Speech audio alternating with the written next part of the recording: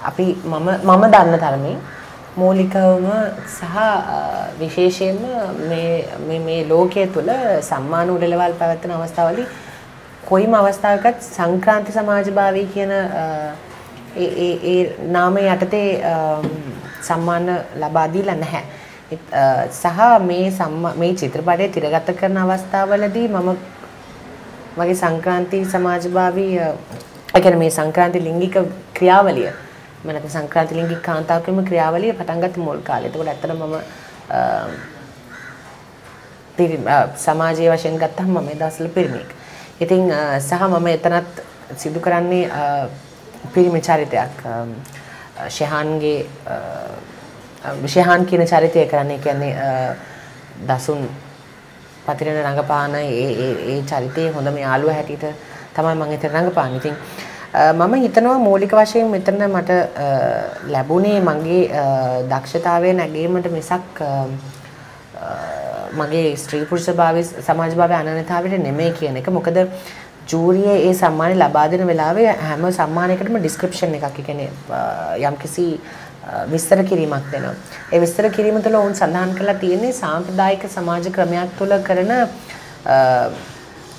ඒ කියන්නේ නිර්භීත රංගපෑමක් කියන එක තමයි එතනදී ඔවුන් ඒතන ඩිස්ක්‍රිප්ෂන් එකට දාලා තිබුණේ. සහ ඔවුන් පුද්ගලිකව මාව ඇවිල්ලා හම්බ වෙලා කතා කරා. සම්මාන උල්ලෙන් පස්සේ අතර මේ ජූරියේ හිටපු ප්‍රධාන ජූරි සමාජිකාව. ඇය සඳහන් කරේ ඇත්තටම ඒගොල්ලෝ පසුව තමයි දැනගෙන තියෙන්නේ මම සංක්‍රාන්ති සමාජභාවී කාන්තාවක් කියන එක.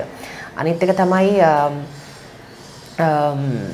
එතනදී ඇය සඳහන් කළා ඒ නම යෝජනා කරාට පස්සේ ඔවුන් සෑහෙන ඒකට නැවත වතාවක් හිතුවා කියලා එයින් එයින් මම මට මට යම්කිසි හානියක් සිදු වෙයිද මම මම දුකකට පත් වෙයිද මාව උන් ලේබල් ගත කිරීම කියන එක ගැන.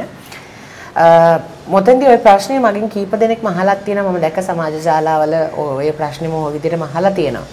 ඉතින් මෙතනදී මම දකින්නේ ඇත්තටම මගේ ස්ත්‍රී පුරුෂ සමාජභාවී අනන්‍යතාවය එකක් මගේ පුද්ගලික දෙයක්. එතකොට එතනදී මම මාව හඳුන්වන විදිය සහ මම ජීවත් වෙන පිළිබඳ විදිය පිළිබඳව මම තෘප්තිමත් නම් ඒක මම ඇත්තටම මේ සම්මානින් මට හානියක් වුණා කියන එක මම හිතන්න දැන් සමහරව හිතන්න පුළුවන් මම සම්මානයට ලෝභකමේ සම්මානයේ සාධාරණීකරණය කරන්න හදනවා කියලා. නමුත් නෑ.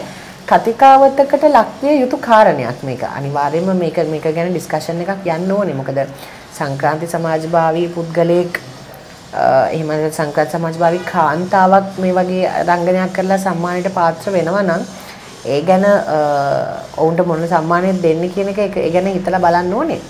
සහ එතනදී මම ඇත්තටම ඒක ලොකු සංකීර්ණ තත්ත්වයක් පිළිබඳව පවතින්නේ නැහැ. මම හිතන්නේ මම කරන අරගලේ ඒක ආපස්සට ඇඳා ගැනීමක් කියන එක.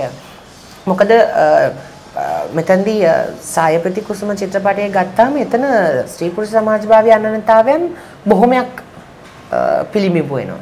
එතන සංක්‍රාන්ති සමාජභාවී පුද්ගලයොත් ඉන්නවා. එතන ස්ත්‍රී පුරුෂ කියන දෙපාර්ශ්වයක් තියෙනවා. එතන ලිංගිකත්වය ගත්තාම හැම බහුතරයක් ලිංගික අනන්‍යතාවයන් තියෙන පුද්ගලයන්ව නියෝජනය කරනවා. එහෙන් බැලුවොත් එහෙනම් මේ චිත්‍රපටයට සම්මාන විවිධ කැටගරි, ඒ කියන්නේ විවිධ කොටස් වලට ලබා දෙන්න වෙනවා. ඉතින් ඒක හරිම සංකීර්ණ තත්ත්වයක් බවට පත් වෙනවා. ඉතින් මම මේක ඇත්තටම මේ තත්ත්වය බලන්නේ ගොඩාක් ඒ තරම් සංකීර්ණ තැනට අරගලයකට කියන තැනකට අරගෙන යන්නේ නැතුව ශ්‍රී ලංකාව තුළ සංක්‍රාන්ති සමාජභාවී පුද්ගලයෙක් හැටියට අගයනු නොලැබූ මගේ හැකියාව මගේ රංගන හැකියාව සාක් ජූරිය විසින් යම්තාක් දුරකට හෝ ඇගයුවා ඇගයුමකට ලක් කරලා මට සම්මානයක් සම්මානය සඳහා මගේ නමත් නිර්දේශ කරා කියන එක පැත්තෙන් තමයි මම බලන්නේ.